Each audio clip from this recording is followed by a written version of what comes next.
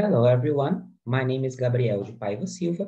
I'm an undergraduate mechanical engineering student at the University of Brasilia, and I'd like to present the work that I did together with my two professors, Márcio Bacci da Silva from the Federal University of Uberlândia and Déborah de Oliveira from the University of Brasilia. The title of our work is The Influence of Deburring Methods in Microslots of Inconel 718. I'd like to start this presentation by showing the motivation, then the objective. After that, I'll explain the experimental procedure, then the results, and finally, the conclusions. Starting with the motivation, I'd like to speak a little about micromilling. Micromachining processes in general have gained prominence over the last few years because there are high demands in the market for the fabrication of very small mechanical components and micro milling is one of the principal micro machining processes used nowadays. Micro milling does not have one single definition yet. However, many authors agree that it can be defined by the diameter of the cutting tool, which should range from one micrometer to a thousand micrometers. Micro milling cannot be analyzed as a simple reduction of macro scale milling because in macro scale milling or in conventional milling, the cutting tool is considered perfectly sharp. But in micromilling, on the other hand, it is not, because in micromilling, the size of the cutting edge radius of the tool is comparable to the minimum chip thickness and even to the grain size of the material that is being cut. And this phenomenon is called size effect. The size effect causes an intense plowing effect because a large amount of material needs to be deformed plastically in order for a small amount of material to be removed in the form of burrs, sorry, in the form of chips. And this generates relatively large burrs. Talking a little about the material that is being studied, studied in this work, Inconel 718 is one of the most used nickel superalloys. It has excellent mechanical properties, However, uh, it is a very hard to cut material and it is known for its low machinability and it often exhibits very large burrs when micromilled. These burrs in micromilling, they are undesirable because they may affect the performance, the safety, the cost, and the appearance of the final product. Burrs in micromilling are very difficult to be avoided or removed because the burring techniques often used in, my, in, in macro scale, they may not provide the necessary precision needed in micro scale. Uh, and another characteristic of burrs in micromilling is that they may interfere in the indirect measurement of the tool wear, because in micro slots obtained by micromilling, it is possible to indirectly measure the wear of the tool by measuring the width of the, of the slot. However, the presence of, the presence of burrs may cause imprecisions in this measurement. So, according to this motivation, the objective of this work is to deburr slots obtained by micromilling on Inconel 718 samples in order to evaluate the effectiveness of the chosen deburring method. For this experimental procedure, micromilling trials were conducted uh, four samples with the dimensions in millimeters shown in the picture were manufactured. In each sample, uh, 12 slots were made.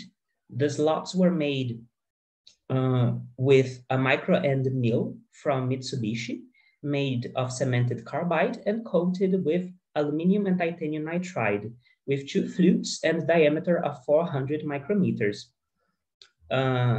The cutting fluid used was the Coolube 2210EP by Unist, which was applied at a flow rate of 270 millimeters per hour, uh, sorry, milliliters per hour at 200 pulses per minute and at an air pressure of 33 psi. The cutting parameters uh, are shown here in this table. Sample 3 is a replica of sample 1 and sam sample four is a replica of sample two. So sample three and sample one were machined with a spindle speed of 11,000 rotations per minute, and sample four and sample two with 20,000 rota rotations per minute. After the samples were uh, machined, they were deburred.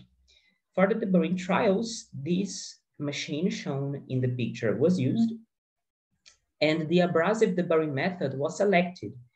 This method was selected because of its low cost, because it's also a very simple method and it's very versatile. And it is used in many industries throughout the world. So silicon carbide sandpaper sheets were used with different mesh sizes. And this machine, the Pantec metallurgical polishing machine, Polypan was used with a constant rotation of 120 rotations per minute. The sanding time was also kept constant for all the, the, the samples, and each sample was deburred with a different mesh size, as it can be seen here in this table.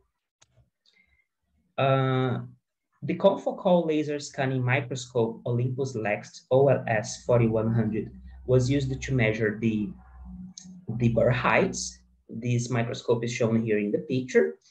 The burr heights were measured three times for each microscopy image, and the microscopy operations were conducted twice, once before and once after the deburring trials. The microscopy images were also taken to analyze uh, the samples qualitatively. And here are some of the results used to exemplify. It's possible to see in the pictures, in the graphics, that the burrs in the up milling side were bigger than in the down milling side. And it's possible to see a significant reduction in the burr heights for all samples after deburring. Uh, considering all the slots, the, the average reduction was approximately 98%. And for some slots, the, the burrs were even completely removed, as in the slot number one for sample one after the deburring. It's possible to see high standard deviations due to the irregularities in the burrs. And here in this picture, it's possible to see uh, that the different mesh sizes did not affect the surface quality of the of the slots. And it, it's also possible to see the reduction of the burrs before and after the deburring trials. So the conclusion that the conclusions that could be drawn in this work is that there was little interference of the cutting velocity in the burr heights, which indicates that other cutting parameters should be studied to better understand the burr reduction. The irregularities in the burrs led to high standard deviations, which is a characteristic of burrs in micromilling. Uh, the different sandpaper mesh sizes did not influence the surface quality of the slots. And even though the abrasive method is very uh, simple, very versatile, and has a very low cost, even so, it was very efficient to promote burr reduction. Uh, so it showed, it, it, showed to be an efficient method for removing burrs in micromilled surfaces, uh, in, surfaces obtained by micromilling in flat surfaces. So I'd like to say thank you to CAPES, to CNPq, to the University of Brasilia, and to FAPEMIG for su supporting this uh, research project. And if anybody has any questions or would like to know any further information about this work, please feel free to contact me through my email. It's dpaivagabriel at gmail.com. Uh, that's it. Thank you very much for the attention. And I finish my, my presentation here.